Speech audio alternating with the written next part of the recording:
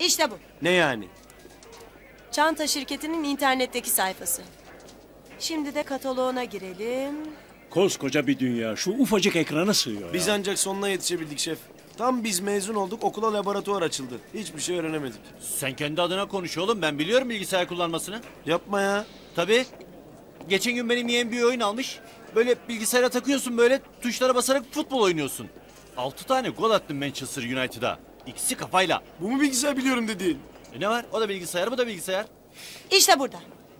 Bu çok özel bir model bakın. Bombacının kullandığının aynı.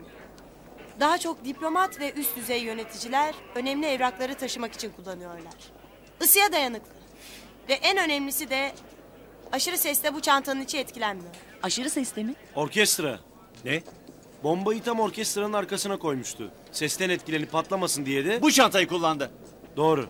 Bu çantayı kullanan çok kişi olduğunu zannetmiyorum. Neden? Çünkü fiyatı çok pahalı. Bakın burada yazıyor. Oha! Ay ne kadar nazik şaşırıyorsun sen öyle Cemcim. En önemlisi de böyle şirketlerin müşteri arşivleri mutlaka vardır. O zaman araştırmaya nereden başlayacağımızı biliyoruz. Çantacıdan. Bravo Derya takıma hoş geldin. Teşekkür ederim başkomiserim. Teşekkürler. Rica ederim Hadi bakalım yukarı Kolay çıkıyoruz. gelsin. Sağ olun. Baba gördün mü ya? Gördün mü? Gördün mü Sıkma oğlum? kolumu sıkma be.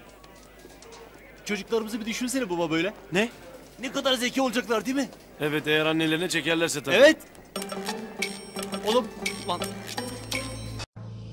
Kanalımıza abone olarak tüm videolardan anında haberdar olabilirsiniz.